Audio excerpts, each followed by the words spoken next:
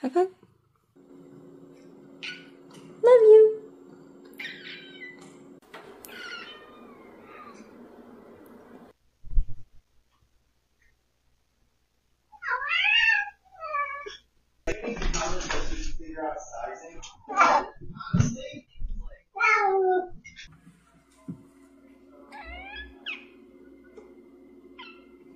My goodness. You have so much to say.